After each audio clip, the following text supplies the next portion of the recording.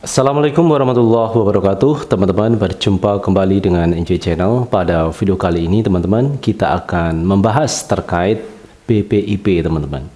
Badan Pembinaan Ideologi Pancasila.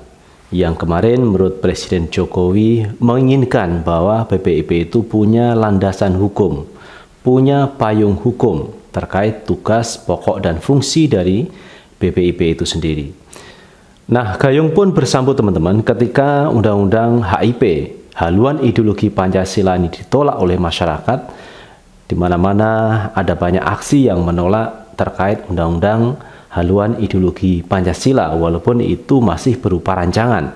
Tetapi di dalam rapat anggota DPR, ini ada delapan fraksi DPR ini yang mendukung eh, terkait rancangan Undang-Undang haluan ideologi Pancasila.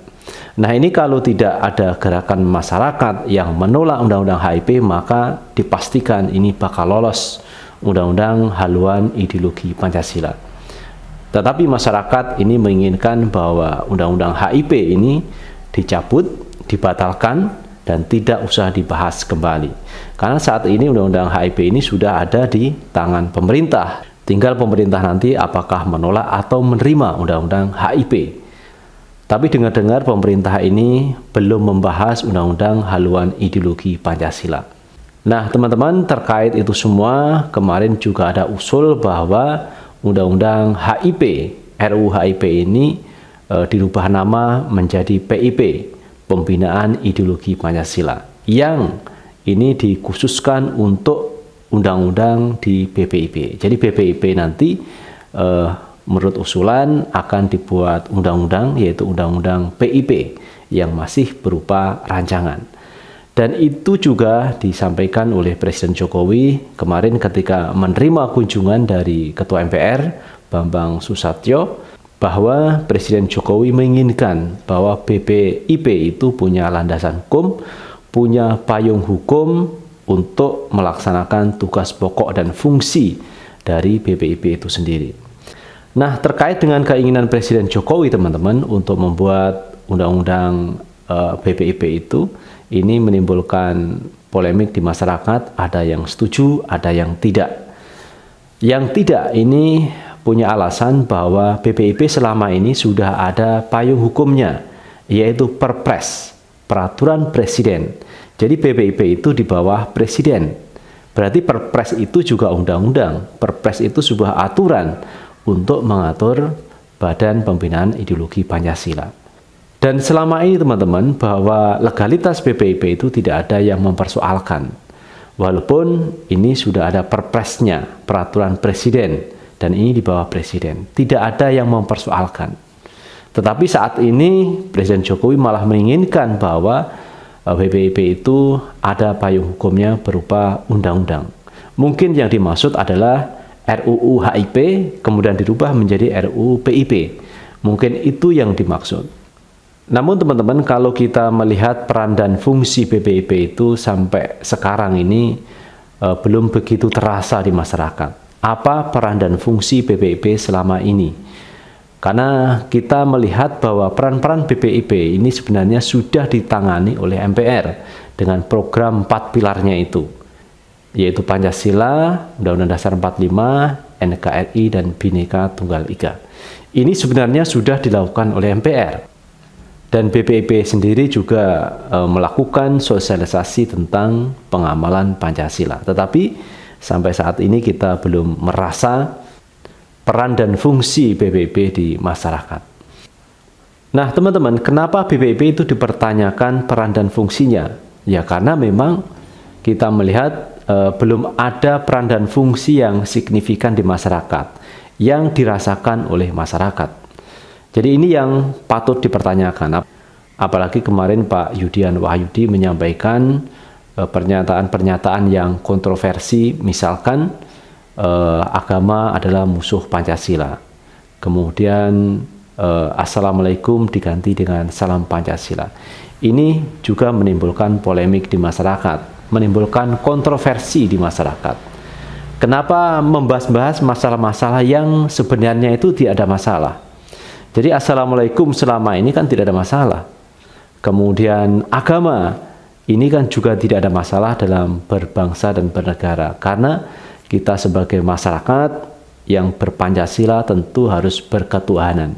Berketuhanan itu artinya beragama. Jadi di sini tidak ada pertentangan antara agama dan Pancasila, apalagi mengatakan agama musuh Pancasila. Inilah yang menimbulkan kontroversi, polemik, yang menimbulkan kegaduhan di masyarakat. Jadi kalau seperti ini dikembangkan terus, maka orang akan melihat kok seperti ini peran dan fungsi BPIP. Badan Pembinaan Ideologi Pancasila yang seharusnya mensosialisasikan pengamalan-pengamalan Pancasila justru menimbulkan kontroversi, justru menimbulkan polemik. Ini yang disayangkan. Sehingga kita melihat apakah perlu BPIP itu punya payung hukum berupa undang-undang. Saya sendiri berpendapat tidak perlu. Kenapa tidak perlu? Karena sudah cukup perpres dari Presiden Jokowi itu sudah cukup. Karena BPIP itu di bawah Presiden. Yang sekarang yang menjadi uh, pertanyaannya adalah seberapa besar peran dan fungsi BPIP itu sendiri. Jadi koreksilah di dalam apa yang dilakukan eh, orang-orang yang ada di BPIP. Kalau kita ingin bicara profesional, maka BPIP sebagai badan pembinaan ideologi juga harus profesional. Artinya diisi orang-orang yang kompeten di bidangnya, teman-teman. Jadi tidak diisi orang-orang yang punya peran-peran ganda. Satu sisi sebagai ketua umum partai politik, sisi lain menjadi uh, bagian dari BPIP. Saya pikir ini kurang profesional. Kalau ingin profesional, lepaskan ketua umumnya, lepaskan partai politiknya, mari ini memajukan BPIP. Sehingga peran dan fungsinya nanti akan lebih profesional. Jadi bagaimana kita melihat seorang profesional itu kalau nyambi-nyambi satu sisi jabatan di luar seperti ini, di dalam seperti ini, dan belum lagi kegiatan-kegiatan yang banyak. Bagaimana dia akan fokus menangani BPIP kalau peran dan fungsinya ganda.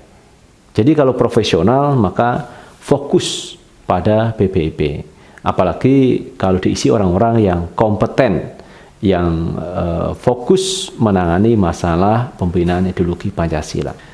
Jadi tidak nyambi ke mana-mana, itu maksud saya teman-teman.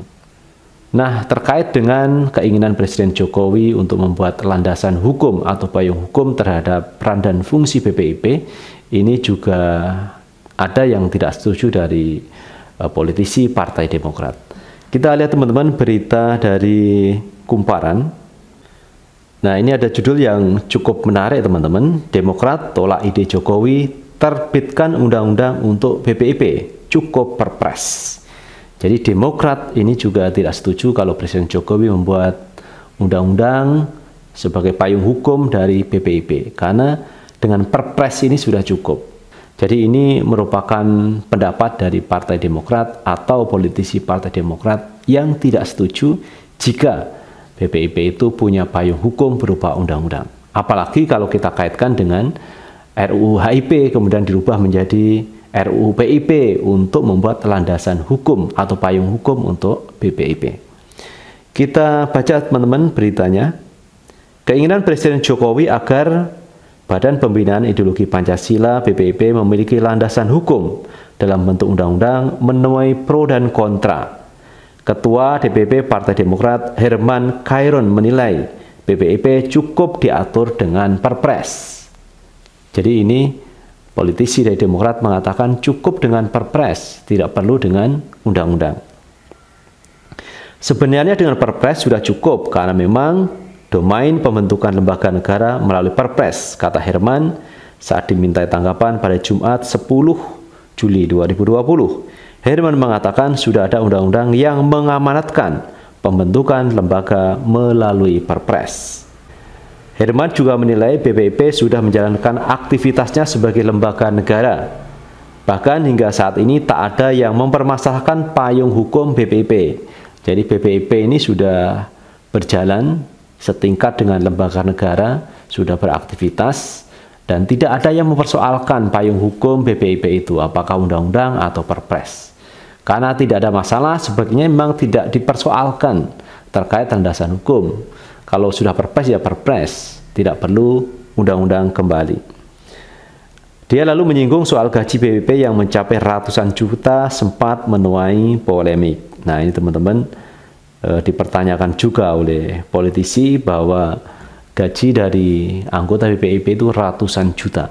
Tetapi peran dan fungsinya ini belum terlihat secara jelas. Karena itu kita juga menyarankan kepada pemerintah tidak perlu membuat undang-undang, cukup dengan perpres karena ini sudah berjalan. Sebenarnya masyarakat itu tidak mempersoalkan apakah BPP itu punya undang-undang atau punya perpres. Yang dipertanyakan itu sebenarnya adalah peran dan fungsi apa yang dikerjakan orang-orang BPP selama ini. Jadi ini yang ditunggu dengan gaji yang ratusan juta. Kalau kerjanya ini tidak maksimal, ini yang dipertanyakan masyarakat. Apalagi kalau dibentuk eh, payung hukum semacam undang-undang. Tetapi kalau kerjanya seperti ini, nilai manfaatnya itu yang kurang dengan biaya yang cukup mahal, gaji yang cukup mahal. Kalau saya boleh berpendapat teman-teman, orang-orang BPIP itu sebaiknya diganti semua, diisi oleh orang yang profesional di bidangnya dan tidak perlu nyambi, tidak perlu rangkap jabatan, cukup satu jabatan di BPIP karena digaji cukup besar karena ini adalah lembaga negara yang dibuat dari perpres, maka harus fokus, harus bekerja giat untuk menangani masalah ideologi Pancasila.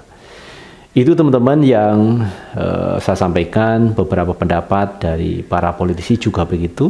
Banyak yang menolak terkait RUU BPIP karena cukup perpres saja yang penting peran dan fungsi BPIP itu dimaksimalkan. Karena masyarakat tidak mempersoalkan perpres atau mempersoalkan undang-undangnya. Yang dipertanyakan justru peran dan fungsinya BPIP itu sendiri. Jangan sampai pernyataan-pernyataan dari BPIP itu malah membuat kontroversi di masyarakat. Seperti yang pernah disampaikan oleh uh, Bapak Yudian Wahyudi selaku orang BPIP yang menyatakan kontroversi pernyataan-pernyataan yang tidak membuat teduh di masyarakat. Itu teman-teman yang bisa kita sampaikan hari ini dan sekali lagi teman-teman jangan lupa untuk tetap like, subscribe, share dan komen di channel ini agar kita bisa membangun channel ini menjadi lebih baik lagi. Sukses selalu. Assalamualaikum warahmatullahi wabarakatuh.